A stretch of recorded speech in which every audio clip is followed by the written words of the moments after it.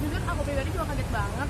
Soalnya kayak uh, baru sekitar dua mingguan aku tuh kayak cuman curhat es uh, pasangan. Aku cuma bilang aku pengen aku emang lagi pengen beli mobil terus aku emang tanya kayak menurut kamu aku cocokan yang mana? Aku emang lagi pengen beli kan karena aku ada dua pilihan mobil. Aku bilang aku dulu aku pernah pakai mini juga. Aku bilang aku kayaknya aku emang lagi butuh mobil buat daily kan buat ke mana-mana buat aku kantor.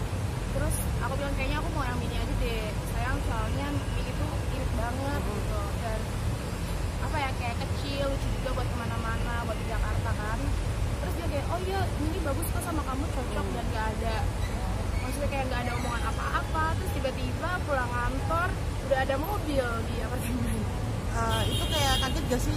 Itu mini, mini yang kamu harapkan gak sih gitu? Iya. Kan mini kan banyak gitu. jadi gini aku sempet bilang sama dia kan tadinya mau mini yang uh, atasnya itu apa uh, panoramik cuman aku bilang kayaknya enggak deh soalnya mobil aku yang satu udah panoramik jadi aku butuh cabriolet yang kayak seru aja gitu. Kalau kayak kita jalan-jalan malam di Jakarta sambil dengerin lagu gitu. Itu pemberian sebut sekalian lamaran apa nggak sih? enggak enggak. Itu benar-benar kayak cuman apa ya dia kalau kalau dari dia sih bilangnya kayak pengen bikin aku senang aja gitu. Tapi artinya ini lebih meyakinkan ya bahwa itu jelas lah gitu ya. Arahnya jelas gitu ya, akan ke lebih serius keluar, gitu, ke jenjang yang lebih serius gak sih untuk ke depannya gitu. sebenarnya dari sebelum dikasih mini eh, awal kita kenal dari awal kita deket kita berdua tuh udah sama-sama kita nggak ada yang kayak kamu mau jadi pacar aku? Nggak ada kayak gitu tapi kita berdua itu kayak lebih berkomitmen kamu tujuannya apa nih? Gitu kan.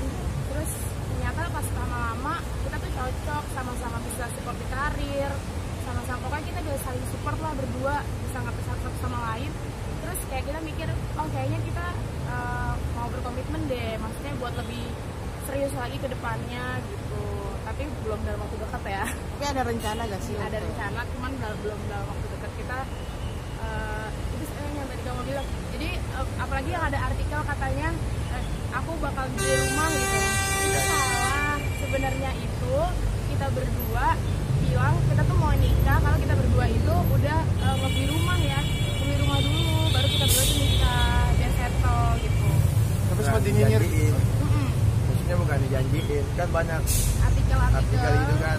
Nur Hidayat habis beli koper, habis ini beli rumah. Enggak, itu salah. Maksudnya Salah. eh, pribadi aku sendiri ya kalau aku harus nikah, aku harus punya rumah dulu baru Iya. nikah. Jadi nggak ada mikir lagi depannya. Tapi sempat nyinyir sama netizen juga kemarin ya. Iya, Apa aja sih gimana tuh nanggepinnya? Ya, kalau aku sih udah biasa ya. Soalnya sebelumnya juga aku pernah dibully kan Hmm. waktu di timnas.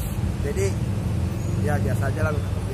Nggak aku mikir-mikir banyak, nggak nggak ada yang ganggu sepak bola aku nggak nggak ada sama sekali. pokoknya kuliah netizen ini nggak ada nggak ada yang namanya ngeganggu aktivitas kita pribadi Iya. berdua pokoknya nggak ada yang beda semuanya sama aja kayak aku kita berdua selalu bilang kayak kita kita berdua punya dua tangan cuma bisa buat nutup mulut nggak bisa nutup kuping semua netizen yang kayak ngom eh cuma bisa nutup kuping nggak bisa nutup mulut semua orang yang ngomongin kita. Jadi ya udah beramat. Selagi kita berdua bahagia buat menjalani ini. Awal kalian kenal tuh emang gimana sih sampai bisa sampai Uh, awal kenalnya itu kita berdua di mall di salah satu mall di Jakarta kita lagi makan di restoran terus dia sama teman-temannya aku sama teman-teman aku terus ternyata uh, salah satu teman aku ada yang temennya dia juga terus akhirnya dia minta kenalan sama teman aku kita, kita kenalin gitu akhirnya kita ya udah tukeran Instagram tukeran WhatsApp udah. aku nah dan dulu pas aku ya bisa sampai memberikan hadiah spesial gitu soalnya dia orangnya baik ya kalau baik baik terus dia orangnya mandiri pintar berbisnis dan salah satunya dia pintar masak. Jadi- Eh, banyak. Apa tuh? Yang yang paling kamu suka apa dari makanan kak Eh, cumi terus aku sering ngomongkan ke dia aku pengen masakan mama gitu kan. Jadi aku di Jakarta ini belajar biar dia nggak maksudnya karena kan dia eh, nggak satu rumah sama orang tuanya kan di sini.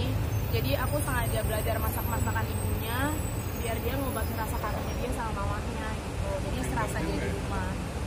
nyari hati. Iya sering komunikasi juga ya sama iya, iya. biasanya tuh kayak eh, tante makanan kesukaan Dayak apa? Resepnya tuh apa? Gitu. Jadi aku belajar sama mamanya